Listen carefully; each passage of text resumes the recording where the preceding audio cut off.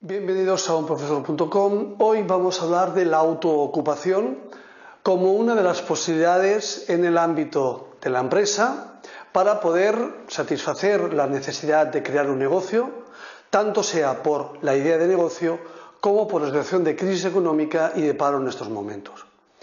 La autoocupación es una posibilidad que se establece a partir del hecho de no poseer un trabajo propio y que las perspectivas de tener un trabajo en el futuro sean difíciles.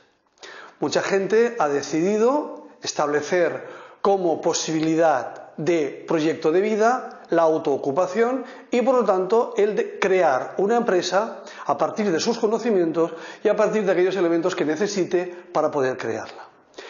Hay que tener en cuenta estos elementos. Mucha gente acude a la autoocupación como única salida posible a encontrar un trabajo. Sin embargo, hay que tener presente que el elemento fundamental es la capacidad de crear un negocio a partir de una idea de negocio y a partir del conocimiento. Nosotros tenemos que tener una característica especial, algo que nos haga únicos y diferentes para poder crear un producto o ofrecer un servicio en el mercado. Porque en estos momentos digamos que el consumo es mucho más bajo de lo que sería eh, lo más recomendable y por lo tanto solo aquellas empresas bien situadas en el ámbito del mercado pueden llegar a sobrevivir. La autoocupación, por lo tanto, debe surgir tras esa necesidad de la cual hablábamos anteriormente a partir de una idea de negocio. Una idea que, evidentemente, tiene que ir acompañada de un asesoramiento y de una creación de un proyecto de empresa. Sin este esta creación del proyecto de empresa, el proyecto acabará fracasando, porque lo que necesitamos es establecer cuáles son las necesidades que tiene la empresa, tanto a nivel de financiación como de localización, como otros elementos que son necesarios para la empresa.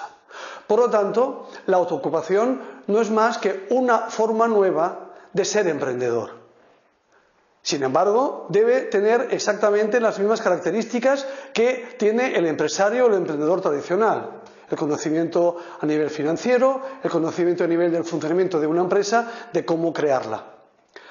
Ahora bien, la capacidad financiera de los emprendedores, la capacidad de los autónomos y de los que crean empresas individuales suele ser muy pequeña.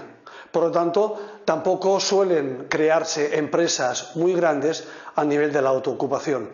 Sin embargo, hay que tener presente lo que hemos comentado anteriormente es una salida profesional válida en esos momentos de crisis en los cuales es muy, muy complicado el acceder al mercado laboral.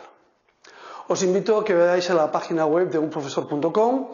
Ahí encontraréis actividades, os podéis poner en contacto conmigo por si tenéis alguna duda. Muchas gracias por vuestra atención.